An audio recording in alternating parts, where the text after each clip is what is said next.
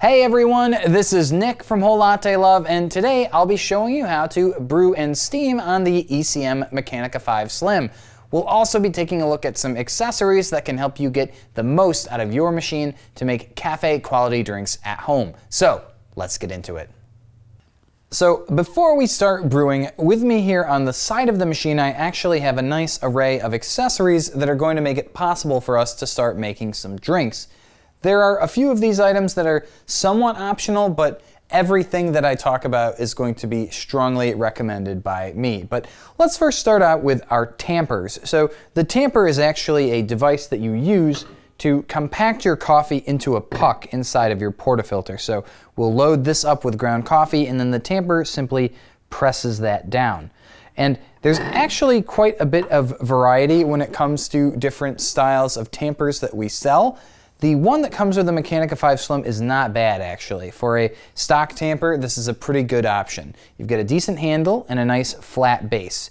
And it's that base and it's fit inside the basket itself inside the portafilter that really helps you make sure that you have an even and level tamp. So your key objectives are going to be to have a good solid surface here of coffee that's nice and polished that water can interact with. ECM sells just a traditional stainless steel flat tamper. I've got these two next to each other. You can see this one's got quite a bit more heft to it. You've got a larger base that's polished steel and a larger handle. I find that this fits my hand a little bit better. There's a nice curve for my thumb and you can go down and tamp just a little bit more easily.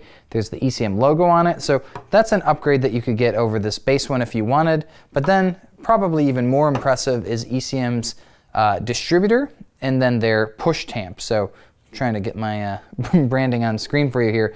But the idea is that basically this is a two-piece set.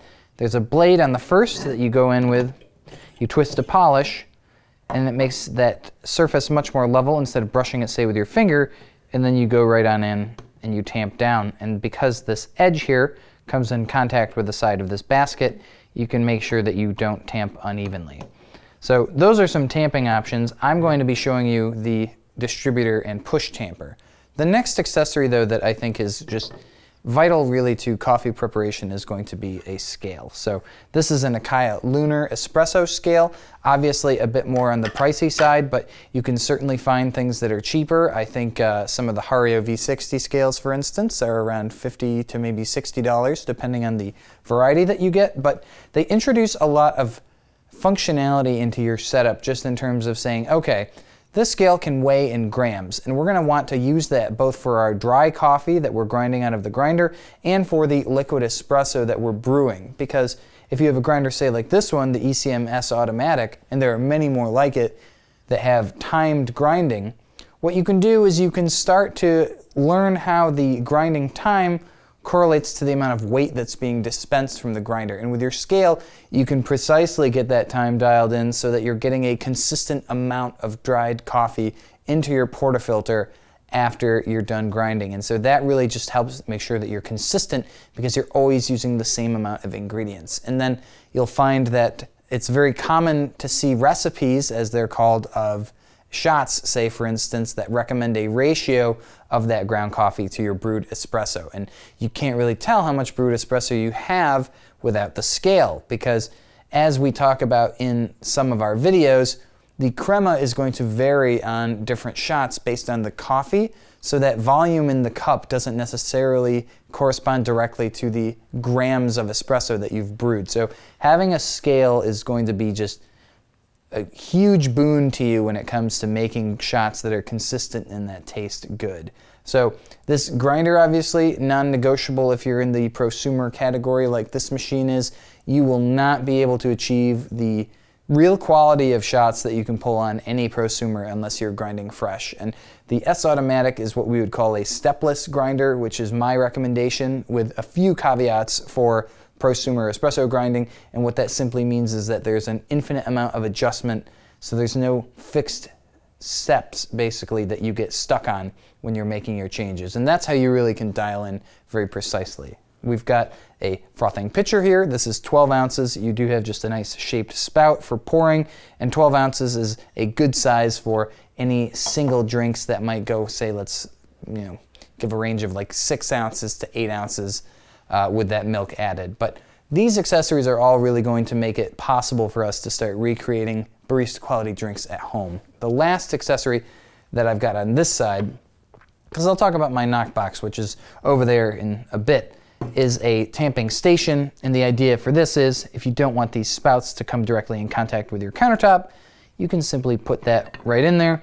And then it's not really hands-free, so you'd want to hold this still. And then that just gives you a nice area to tamp your shot. But those are just some accessories that I would recommend that you strongly consider for the Mechanika V Slim.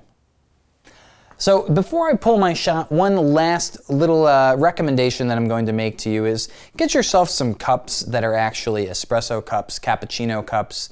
If this is your first time buying a machine, you'll find that probably what you have laying around in the cupboard is not necessarily going to cut it. Having shorter cups is really important so that you could fit a scale under your portafilter. Having a nice espresso uh, cup would really help too with just preserving the temperature of your drinks. Having a cappuccino or a latte sized cup is going to be very important for actually successfully pouring latte art. Really, it just comes down to getting the appropriate cups for the kinds of drinks that you're going to be making. But I would recommend that you don't just go with whatever you have. You should probably invest in a couple of cups right up front. So what we'll do to start is grind our coffee.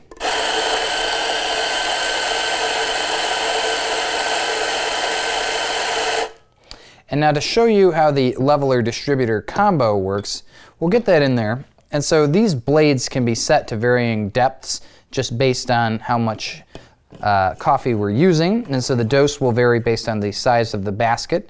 The ECM Mechanika V Slim comes with a single and double shot basket that can hold about 9 for the single and 18 grams for the double. So we'll go in, give that a nice press as well, and we'll lock in here.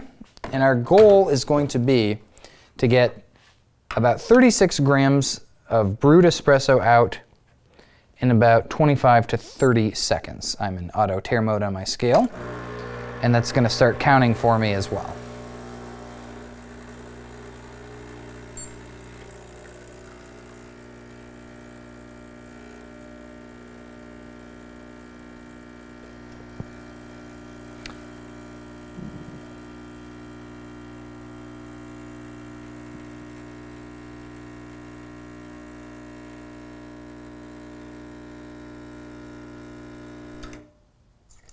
And honestly, that is just about perfect. So if this were, say, too fast, meaning that the shot extracted more liquid than we needed in the time frame, then we would want to adjust the grinder to be a bit more fine to restrict that flow even more.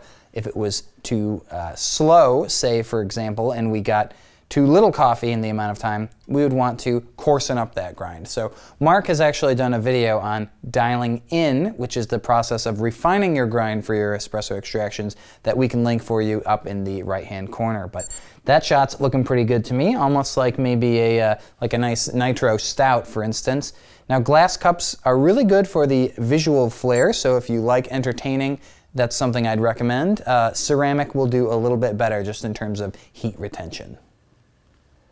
Now that we've pulled our shot, I want to show off how we can use our hot water wand. So being a heat exchanger espresso machine, the Mechanika V Slim always has a supply of hot water that you can dispense as long as you have pressure in the steam boiler. So that same pressure that's used to froth milk is also used to push water out of this arm. So because it's a heat exchanger, you do need to make sure that you are up to steam pressure before you dispense this water. It's not like other models say that have a dedicated pump to pump that water. But you can use this for an Americano, which I'll show you how you can make right now. We'll simply pour our shot into our glass and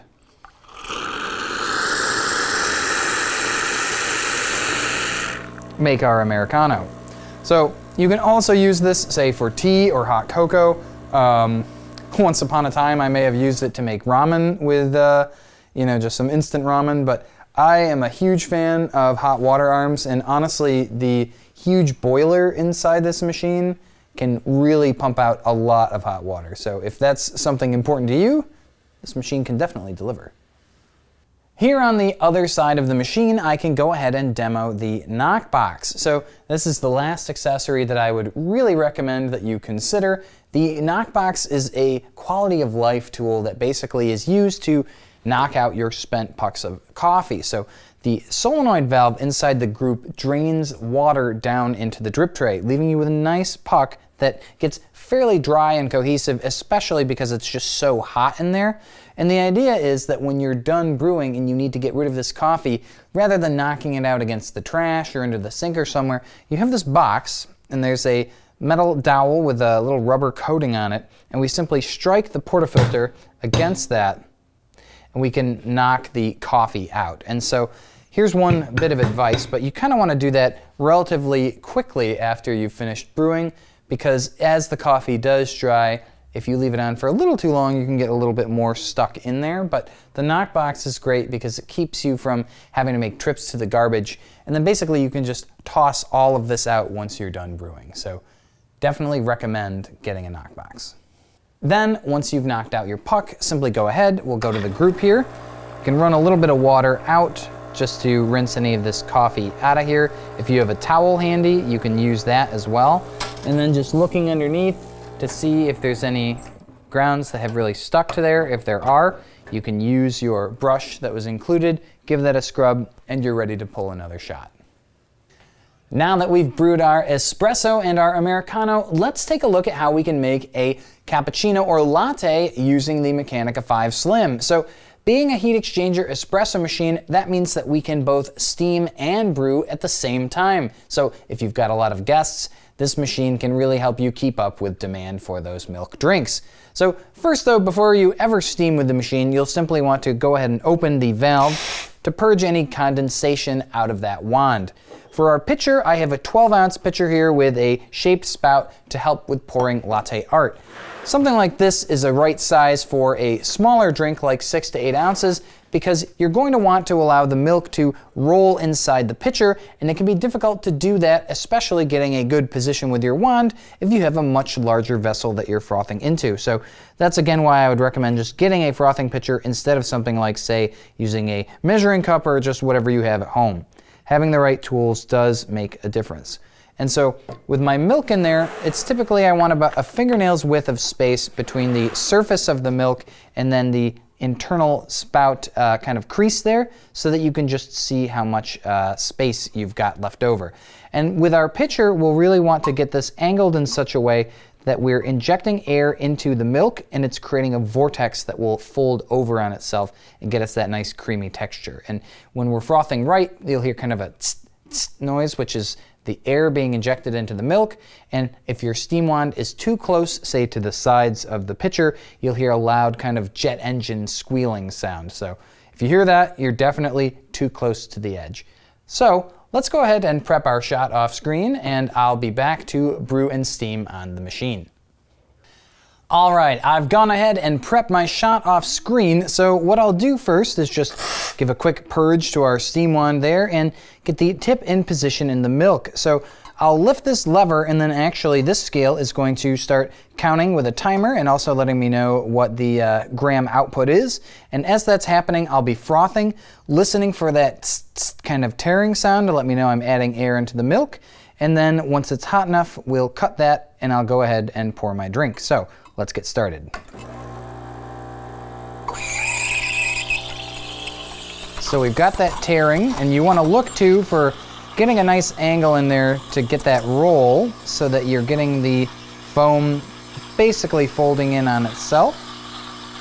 And as the milk just starts to get a little too hot to hold, you know that you're around that 140 mark. So I'll cut my shot, and it's definitely a little too fast, so we could dial that in the next shot that we do, but what I'll do is I'll go ahead now and just get my milk, get any larger bubbles knocked out, and then slide this out. So AJ has done a great video on his uh, kind of process of learning how to froth milk and pour latte art that we'll link up in the corner for you.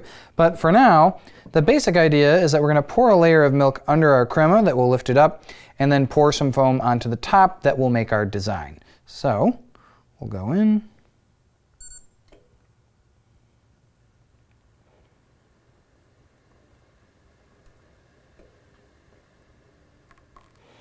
And a little bit of splashing on the edge there, but you can see a pretty basic rosetta. It's going to come down to just getting that practice, that timing, getting a feel for the amount of air that you're injecting, but that's sort of the basics of the latte art side of things, but also that's how you would use your Mechanika V Slim, say, if you wanted to brew and steam at the same time.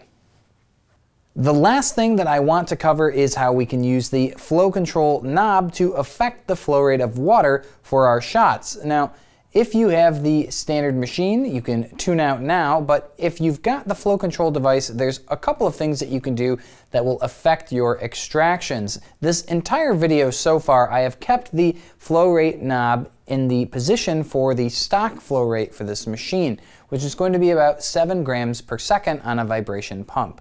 Now, we can actually change that by changing the position of this knob. So if we were to start it at zero basically, this is fully closed, and you can kind of think of this as a uh, clock face maybe, and we'll turn it counterclockwise to open that valve up. But all the way closed is a zero gram per second flow, and as you can see, there's nothing coming out of the group. One quarter turn open is about 2.2 grams per second. One half will get us to about 4.2. When we go to three quarters, that's about 5.5. One full revolution is about 6.2 grams per second.